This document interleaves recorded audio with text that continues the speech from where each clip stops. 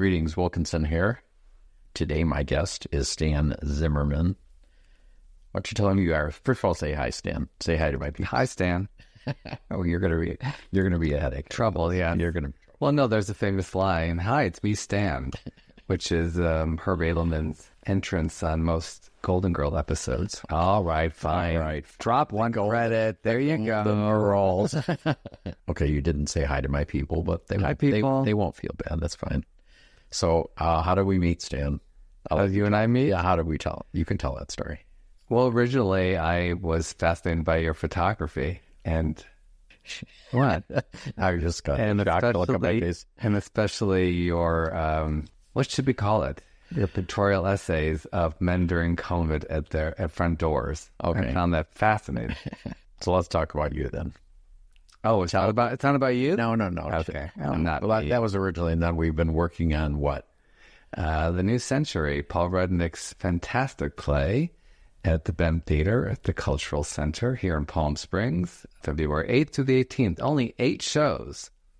So they better Is get that, is their that an advertisement? That's fine.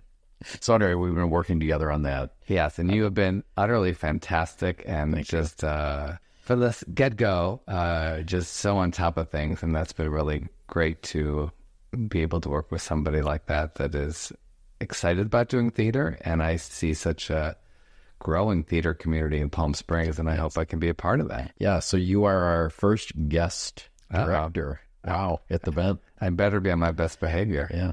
So far, have I been? Uh, and there have been a couple. I mean, everybody's got to hate you a little bit when you get to this stage, right? No, they love me. All right. All right. So let's, uh, you're gay. Oh, we're just jumping right. We're to jump right into okay, that. Okay. Well, you know, most of my listeners are gay, so we want to hear all the gay stories. It's so not like I've give been in the the closet. Uh, well, I was in the in the early part of my career, which people find that kind of shocking when I tell them that on Golden Girls we were told by our representatives to stay in the closet and to bring a woman as what they called a beard um, to any event that we went to. Because they look at Golden Girls and see it as, you know, an extremely progressive show, which it was at the time right. but on staff, uh, it was still an all boys club, even though there were for a sitcom, there were uh, more women actually. There was uh, Susan Harris who created it, although she was not in the writers' room because she was experiencing Epstein Barr syndrome um, at the time. But there was um, two women, and people think that you know the show must have been all gay people, but it really was just me and my writing partner Jim Berg.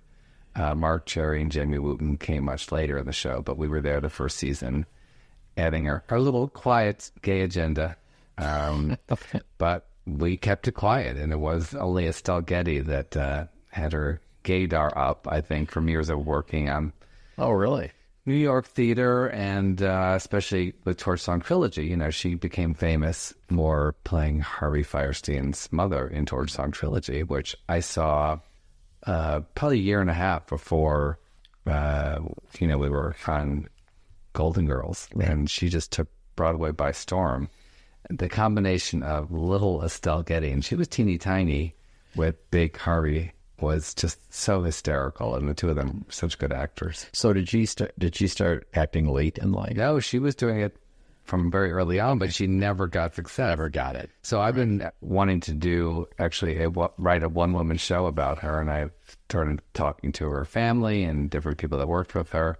So she would cook dinner for her family and then go off and do some crazy off Broadway show in you know down in the bowels of Manhattan. And her son told the story they would go see her in a play, and there would be their mother like in her bra and panties, and they're like, "Oh my God, mom, get dressed." Um, obviously, she was wearing more clothes for Torch Song Trilogy, Right. um, but she became kind of the mother for gay people. And, you know, during that time, uh, you know, it was the beginning of the AIDS epidemic, and a lot of the cast started getting sick. Right. And I heard amazing stories that she would go to the hospitals, and she thought at the time, because we didn't know that much about it, that she would just bring chicken soup and feed them and think that that would get people better. And she didn't really know. And then when she moved to Hollywood, she was one of the few actors of note that would go to benefits for to raise money for in awareness for AIDS. Um, because back then, you know, it started with just pretty much female actors, but if you were in the closet as a gay male actor, you would never go into a benefit. And then, you know, Elizabeth Taylor got involved and I went to a big benefit and there was Bette Midler and, you know, tons of people started coming out and raising more money. Is it still hard to be gay? It's not hard to be gay in Hollywood now, right? It still is. I mean, people think it isn't, but, you know, even after we wrote the lesbian kiss, kiss episode of Roseanne, that opened a lot of doors, I think, for Alan and for Will and Grace to come about. But then we've had very difficult times. We wrote a um, lesbian pilot about a lesbian and her estranged father. And they both chased women and they both fucked around on their partners. So they kind of were cut from the same cloth. Mm-hmm. It was called Skirt Chasers. And the networks loved the script, loved the writing. We've never seen this story, which was a pretty unique take on it but they would say, "Well, we've done our one gay show this year. We can't do another one. we can have five thousand murder shows and right. CSIs, but only one gay lesbian show." So what we did was we turned it into a web series and we cut it into six parts, and we got a company called Tello Films, and um, for twenty thousand dollars, we made that show. We had Barry Bostwick from Rocky Horror Picture Show, Elizabeth Keener from The L Word, Meredith Baxter from Family Ties. We got um, Lea DeLaria to record. Um, she did a brilliant cover of "I'm a Girl Watcher," that old '50s song, and uh, we made a great show, and it was very exciting.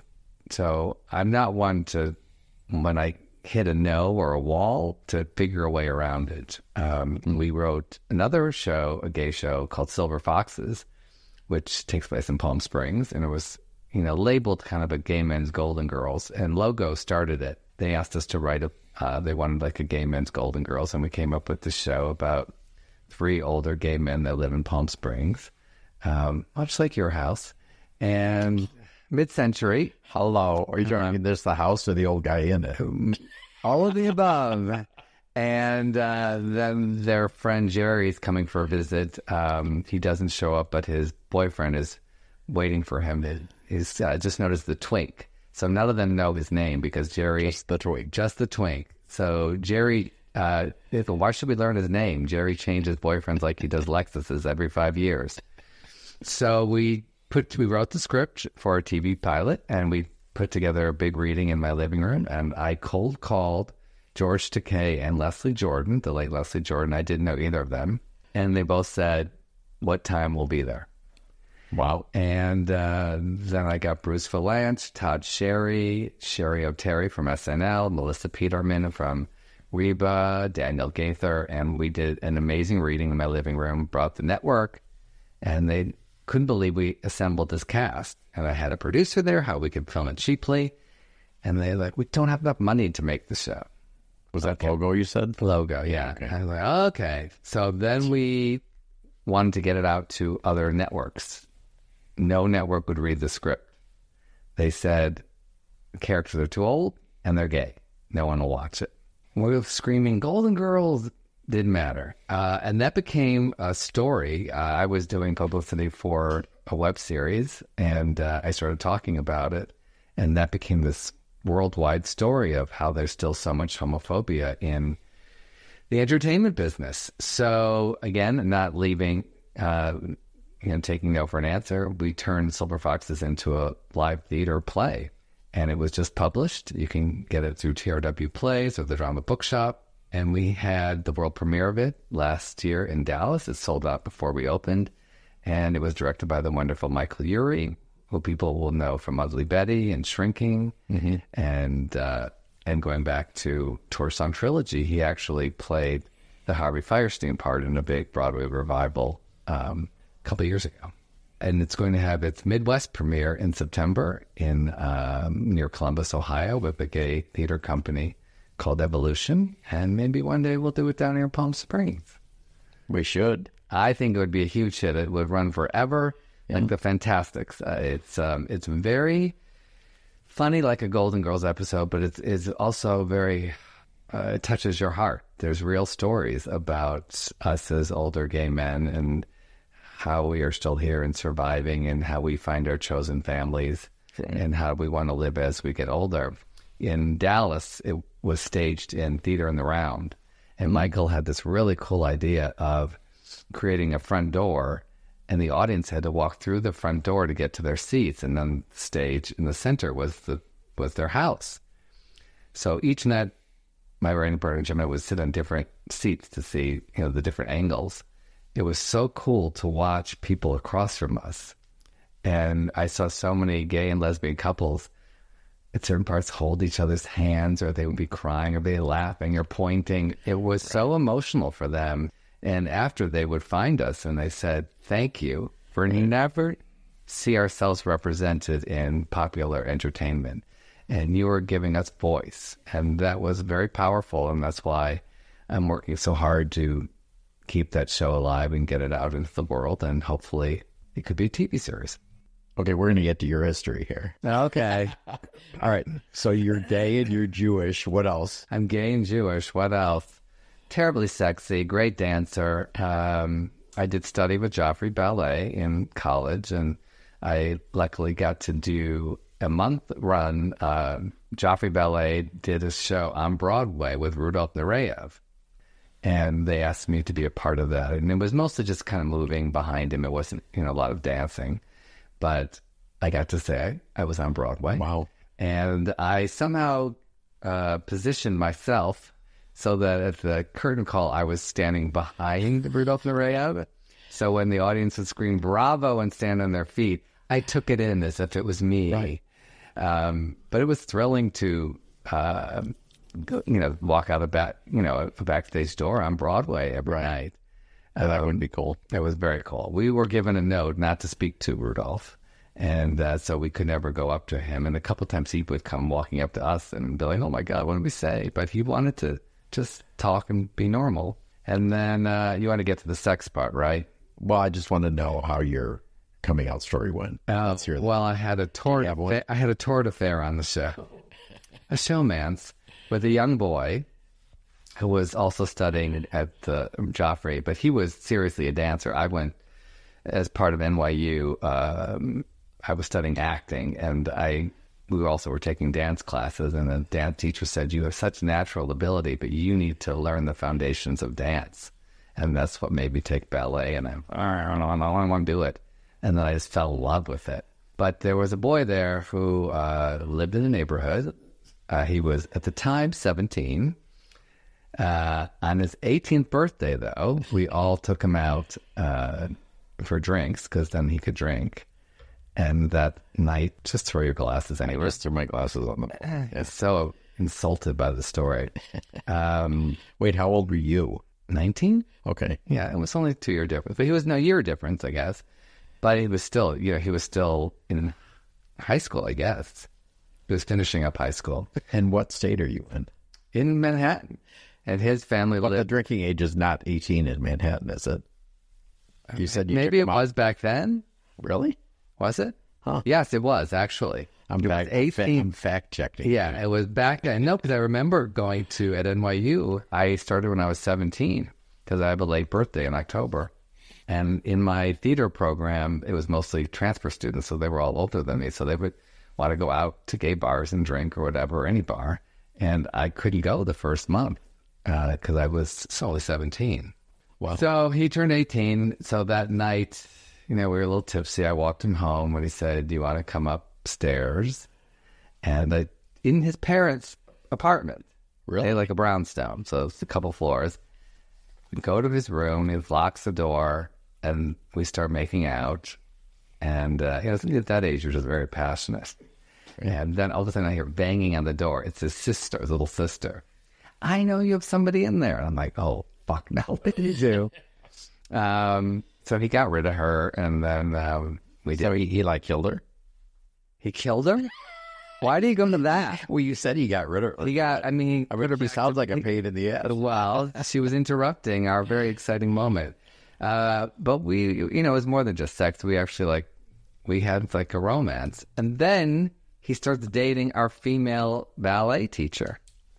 And I'm like, wait a minute. I, I went home that summer and I'm like, we're writing letters and talking on the phone. And then he tells me you know, and he loves me, but he also loves this woman, and this woman was living with an actor at a broad off Broadway theater where I ran the box office. It was all so incestuous. I'm like, I can't handle any more of this. But I still do have all my love letters. Uh, maybe I'll do a play out here one time. Stand love letters. But that was your coming out story? Um, no, that was no. Uh, I guess. Well, I'd. Oh my God! The year of my high school prom, I was underage in Detroit, and my friend took me to a gay bar. We sat in the uh, uh, parking lot, and it was like my stomach. I had such a stomach ache. I can't go in there. So the week of the prom, I also went to my first gay bar, and of course, you know, we walked in, and I probably looked like I was fourteen or fifteen, and we got a lot of drinks bought for us, and uh, so that was my introduction to like the gay scene. But then in New York, uh, one of the first dorm parties we had, and I met this uh, a friend, of, a roommate of a friend from uh, my drama program gorgeous, tall, blonde, Nazi looking guy, just st- stunning. And he wanted to have sex with me.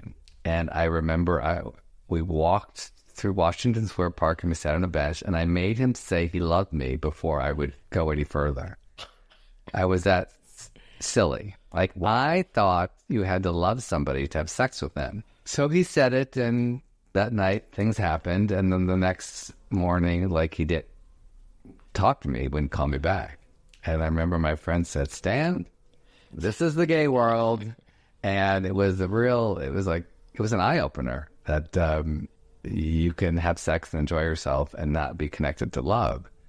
And I just hadn't grown up with that. I, you know, I grew up watching Love American Style and, you know, rom coms. And, and even though my parents were divorced, still thinking there was happily ever after. So when did how old were you when they got divorced? Late, like 16. And did you come out to your parents? Not till much later, um, through college. No, actually, um, it was actually after college, and I moved to LA. And I remember having a conversation on the phone with my mother, who was back in Detroit. And I said, um, uh, I just have to tell you, you know, that I'm gay. I just had to, because we were best friends. And she said, Well, I didn't know if you were, and I didn't know if you weren't. And that was kind of it. and then that was it. And she was fine. Uh, I think she kind of liked having a gay son because in the last year when she was getting divorced, when we were, you know, in the house, uh, my senior year, she introduced me to weird little indie movies and we would go to movies together. And she introduced me to some great films I never would have seen. You know, they weren't blockbusters, they were just quirky little things. Right. Um, and we just loved hanging out together. And, you know, she probably couldn't have done that if I was some straight dude, you know, wanting to play basketball. But, um, and then my father, so they were divorced. And then I it was just, that was, that was a, a tear jerking scene. I was at his office when I was home in Michigan one time. And, uh, I, somehow I ended up sitting in his desk and he was went to the bathroom. He came back in and I go, here's the moment. I just have to say it. And I said it, and he just started crying, and he says, "I just want my son back." And he came over, he hugged me, and we cried, and that was that. What did he mean by that? I think he meant, you know, it's interesting. We talk about it in the new century. So many of us hide Right. that there was a part of me that's hidden. You know, I mean, two of the moms in the play talk about that. Uh, I just want to be in your life and be me and be genuine. And, you know, when you're in the closet with your parents, you can't be. So there was, you know, it was questions, are you dating a girl or what are you doing? Or, um, I could say, you know, yeah, you know, some guy I'm dating took me to Studio 54. Like, what? Like, they wouldn't have understood any of that. Um, that's a whole other. So did he mean now we can be real? Now uh, you can be you. Okay. All right. That's what I took it as. Okay. And it wasn't this person that I had to, you know, be in whatever I thought he wanted. But then other shit got in the way, and and um, we ended up in his later years not talking. And uh, yeah, so that that he, he's passed on, no? he has passed on, and my mother passed uh, two years ago, and that was really difficult. Right. And actually, it connects to Palm Springs. I was uh, set to come down and do um, a show about Golden Girls uh, with Al- Alexander Rodriguez at Oscars, and um, that on Wednesday, I think, and that Sunday, my mom had a stroke and went into the hospital, and in L.A. and um, they said, you know, there's nothing you can do. You have to go. Go. She, you know, the next two days we're going to be able to see like, is she going to rally, or is it be time to let her go?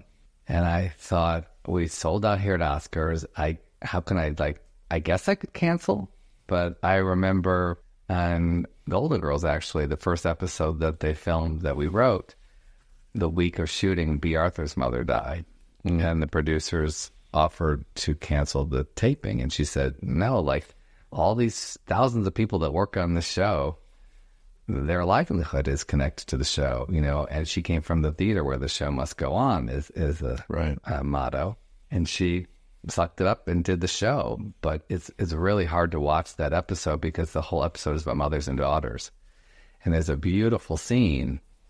I mean, it just was just by chance. It was, the, Right, it was that episode where she's at the. Um, so the story is about uh, Betty White's mother comes to visit, and she treats her like an old, like a little child. Right. And uh, so there's a beautiful scene at the kitchen table with Estelle Getty and um, and Bea Arthur, and Estelle says, "You know, thank you. you. You treat me like a person." And it so touches Bea, she can't even look Estelle in the eye. She's got to turn away. And every time I see that scene, the hairs on my arms stand up because I know What's going on? what's going on behind it. So I said to Alexander, no, let's go down. I can't really do anything.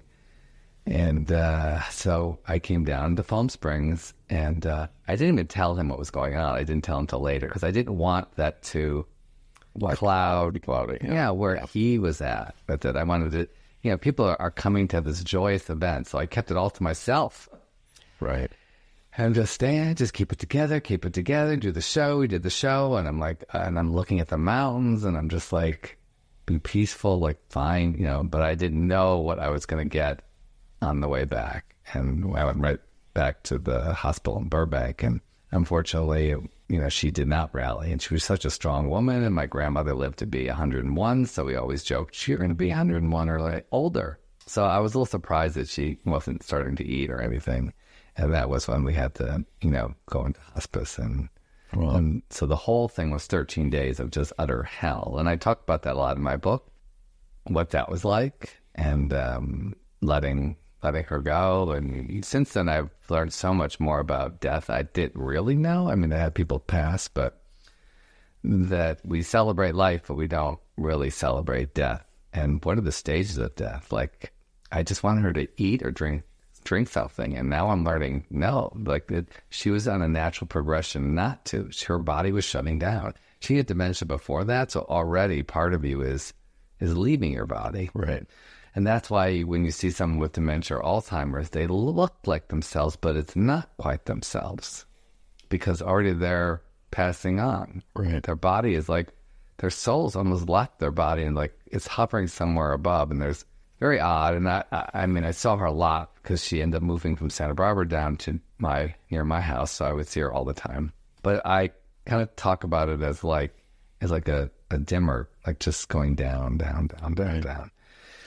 So as much as I didn't want her to go, she always said she did not want to suffer. She was always just, just push me over a cliff. And I'm like, Mom, I'd love to, but I can't.